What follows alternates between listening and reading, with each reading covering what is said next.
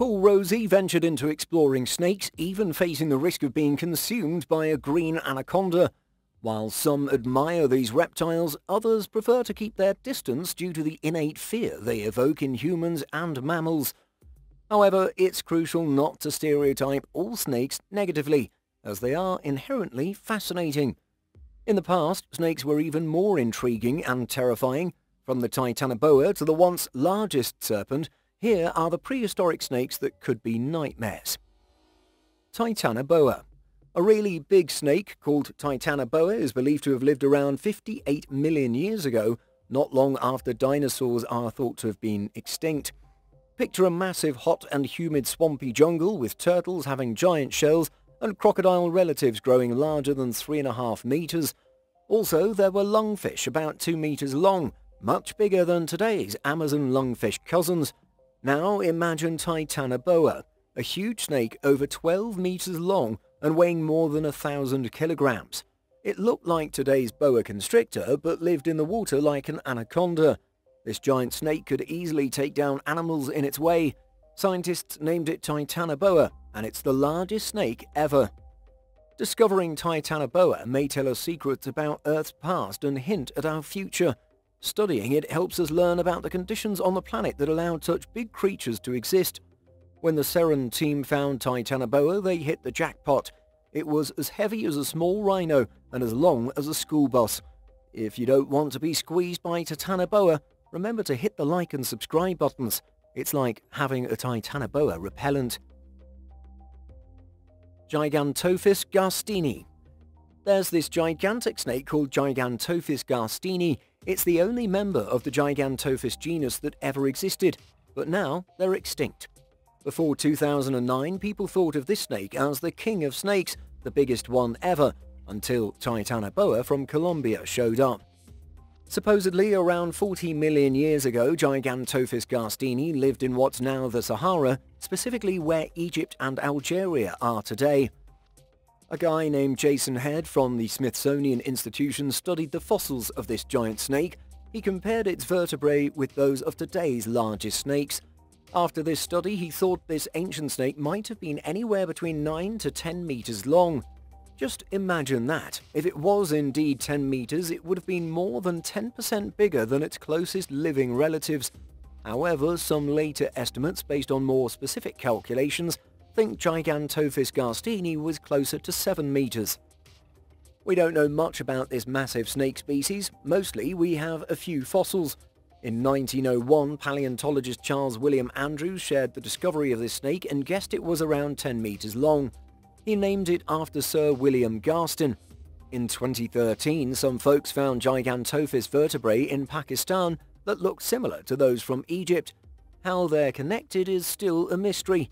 Maybe this snake was a world traveller. Najash.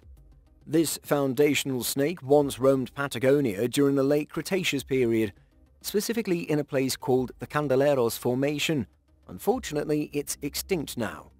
What sets Najash apart is its unique feature, back legs. Unlike some present-day snakes, Najash had well-developed legs that extended beyond its rib cage, with a pelvis that still connected it to the spine. Fossils of Najash discovered in Argentina's Negro province apparently date back to an astonishing 90 million years. Najash's head structure and backbone resemble other ancient snakes like Dinilysia patagonica and Madtsoia. Certain neck and tail features of both Najash and Dinilysia patagonica provide insight into the supposed evolutionary journey of snakes from lizard-like ancestors. What makes Najash special is that it retained its sacrum, set of connected vertebrae in the pelvis area and its pelvic girdle, features absent in today's snakes and all known fossil snakes. In the big snake family tree, most studies position Najash as an early offshoot, not directly linked to any snakes we see today. Palaeophis colossus. Now let's explore the world of sea snakes, around 52 species in total. Most of these creatures inhabit the warm waters of the Pacific and Indian Oceans, they all come equipped with a venomous bite. Generally, they're relaxed and won't become aggressive unless provoked, so take a breath. But there's Palaeophis colossus, an ancient sea snake that's fortunately extinct. The title for the world's largest sea snake used to belong to the yellow sea snake, which could stretch up to 3 meters. However, Palaeophis colossus is quite special. In 1999, researchers discovered a fossil of this enormous snake in Mali's Sahara Desert, possibly from what was once the Trans-Saharan Seaway. Judging from the fossil, Palaeophis colossus could have been a whopping 12 meters long. That's 9 meters longer than our previously mentioned yellow sea snake. During the era of Palaeophis colossus and the drying up of the African seaway, there were many other giant creatures around, including massive whales, elongated catfish, and sizable turtles. Sanajeh. Meet Sanajeh, a snake discovered relaxing in a dinosaur nest surrounded by three eggs and a baby dino. Examining this ancient snapshot, it seems more like a predator caught in action than random critters sharing the same hangout spot. The snake's position is intriguing, with its head resting on a coil and its body encircling a cracked egg. Everything remarkably intact. This scene paints a picture of these creatures getting abruptly trapped and swiftly covered by sediment. Sanajeh apparently dates back about 67 million years, but the world only learned about it 26 years after its discovery in 1984. Dhananjay Mohabey unearthed this fascinating specimen near the Indian village of Dholi Dungri, initially identifying the baby dino and remnants of the egg. Mohabey didn't delve much deeper. Later, Jeffrey A. Wilson from the University of Michigan revisited the find. To his amazement, it was evident that these were snake vertebrae embracing the baby dinosaur. Madtsoia Madtsoia is a snake from the past having roamed the Earth apparently between 90 million to 2 million years ago, spanning from the late Cretaceous period to the Pliocene era. Its discovery traces back to Argentina in the 1930s and it was named by George Gaylord Simpson in 1933. What makes Madtsoia interesting is its role as a representative of a genus, not a single species. In simpler terms, it's like a poster child for the Madtsoiidae, believed to be the ancestors of today's snakes. These creatures were globetrotters, leaving their mark supposedly over 88 million years ago. The big question is how these ancient serpents connect to our modern snakes, a mystery that remains unsolved. Madtsoia was a 9 metres slithering giant, although some discovered specimens measured a mere 3 metres, making their actual size a bit of a guessing game. Its hunting style probably wasn't too different from today's boas. Picture Madtsoia coiling around its dinner, applying a squeeze until the prey couldn't breathe, essentially suffocating it or triggering a heart attack. After that, it would leisurely swallow its meal whole and digest at its own pace. The Round Island Burrowing Boa the round island burrowing boa, scientifically known as Bolyeria multocarinata, is sadly no longer with us. This snake was unique, being the only species in the Bolyeria family and genus. Its last sighting was in 1975 on Round Island, and there are no known subspecies left. Typically reaching a length of around 1 metre, some captured individuals measured between 54 to 140 centimetres, it featured a light brown hue with blackish spots on its back and a pink belly adorned with similar spots. With a round head and body plus a pointy nose, it's likely that this snake loved to burrow. Its closest living cousin is the round island boa or Casarea dussumieri. Interestingly, this boa's entire habitat spanned just about 1.5 square kilometers, favoring spots with hardwood and palm trees. It mainly inhabited islands like Gunner's Quoin, Flat Island, Round Island and Ile aux Serpents in Mauritius. Its last known home was Round Island as of 1994. Unfortunately, the IUCN Red List of Threatened Species marked this snake as extinct, and by 1949 it was already a rare sight. After 1975, it vanished, and its demise was partly attributed to invasive goats and rabbits munching away at its habitat leading to soil erosion. Wonambi Wonambi was an old snake from Australia that lived a long time ago. It was part of a snake family called Madtsoiidae.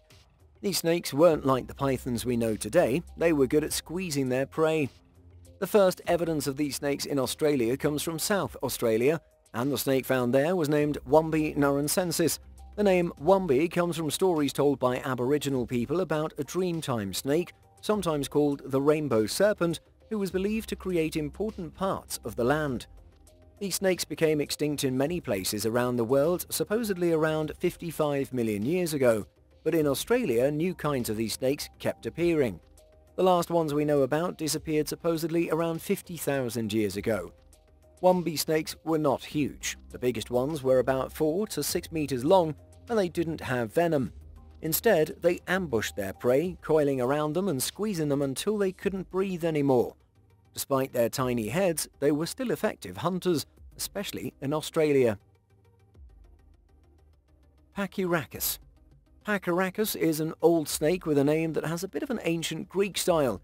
The name Pachyrhachis comes from two ancient Greek words, pachus, which means thick, and rachis, which means spine. This snake is special because it had real back legs. It was found in a place called Ayut near Ramallah in the West Bank. It wasn't very big, just over 1.5 meters. There are signs that Pachyrhachis was a marine snake. Fossils of Pachyrhachis were found in marine limestone and its rib and vertebrae bones were thick, helping it swim in the ancient Cretaceous seas. Pachyrhachis is part of a unique group of three snake types from the Cenomanian era that had hind legs. While some modern pythons and boas have tiny leg-like spurs, Pachyrhachis had small legs with actual hip, knee and ankle joints. A snake expert H.G. Cogger talked about Pachyrhachis in 1979 and 1980, pointing out its interesting mix of snake and lizard features. Tetrapodophis. This snake has a pretty fancy name, no lie. It breaks down to four-footed snake in Greek. This ancient creature lived in Brazil a long time ago during the early Cretaceous period. Here's the interesting part. It looks like a snake, but has four legs. Now, some experts think Tetrapodophis might be one of the early snakes, while others disagree. Let's talk about its legs. They're not very long, and it seems Tetrapodophis didn't use them for walking or digging. Instead, these legs look like they could grab onto things, kind of like a sloth or certain birds. Some even say its spoon-like feet might have been useful for grabbing prey or, surprisingly, for snuggling with mates. Yep, this was a snake that liked to snuggle. Some believe that this snake-like body has evolved many times in the Squamate group, creating legless lizards like the European slowworm or the oddworm lizard bipeds. They are believed to have lost their legs but kept the front ones. However, real snakes are believed to be a unique result of these evolutionary experiments. Tetrapodophis has some features seen in other legless lizards, but only snakes have a special combo of features. This includes backward-pointing teeth, a single row of belly scales, a unique way their vertebrae connect, and a relatively short tail compared to lizards and crocs. All these features suggest that Tetrapodophis is more like a snake, even though its legs might make you raise an eyebrow. Baby snake fossil found in amber Scientists have made a fascinating discovery, the oldest baby snake fossil found in amber from Myanmar. This tiny snake, named Xiaophis myanmarensis, roamed the earth even before the T-Rex, they claim. The fossil is supposed to provide insights into snake evolution, revealing V-shaped bone spurs on its tail vertebrae that likely protected an artery and helped early snakes maintain balance after supposedly losing their legs. Although the fossil is missing its skull, leaving some mysteries, the finding hints at the possibility of more snake fossils waiting to be discovered in Burmese amber. Deinonychia. A prehistoric snake from the late Cretaceous era in South America provides valuable insights apparently into the early evolution of snakes. With its elongated body and 24 vertebrae, Deinonychia exhibits key snake-like features, contributing to the ongoing debate about the origin of snakes whether on land or in the sea. Despite suggestions of an oceanic connection, Deinonychia's inner ear structure aligns more with land-loving squamate snakes, adding complexity to our understanding of supposed snake evolution during this era. Deinonychia's fossilized remains are crucial in unraveling the mysteries of prehistoric snakes and their fascinating history. Eupodophis. This snake lived during the late Cretaceous period, it's believed, and its fossilized remains were discovered in Lebanon. Eupodophis is particularly interesting because it displays characteristics of both modern terrestrial and marine snakes.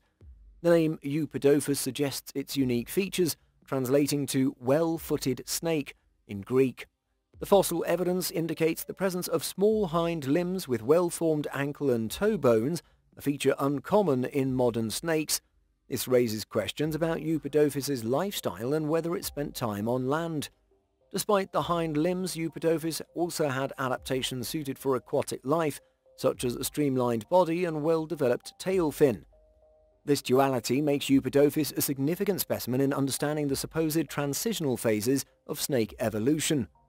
The discovery of Eupodophis provides valuable clues about the ecological diversity and adaptations of ancient snakes, showcasing the complexity of their journey during the late Cretaceous. Coniophis precedens Coniophis precedens is a prehistoric snake known from the late Cretaceous period, supposedly around 85 million years ago. Fossils of Coniophis precedens have been discovered in North America. This snake is of particular interest to paleontologists because it provides insights supposedly into the evolution of snakes during a time when these reptiles were still adapting to their environments and developing characteristics seen in modern snakes. The name Coniophis is derived from Greek where konios means dust or powder, possibly referring to the snake's small size or the fine-grained sediments of the area where its fossils were found.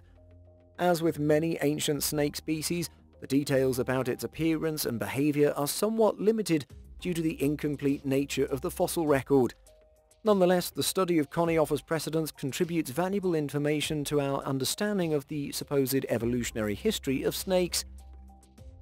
Psammophis odysseus Dr. Georgios Georgalis, a scientist from Greece, found something exciting in southern Spain while studying old things called fossils. He discovered a snake from a really long time ago and he named it Psammophis odysseus.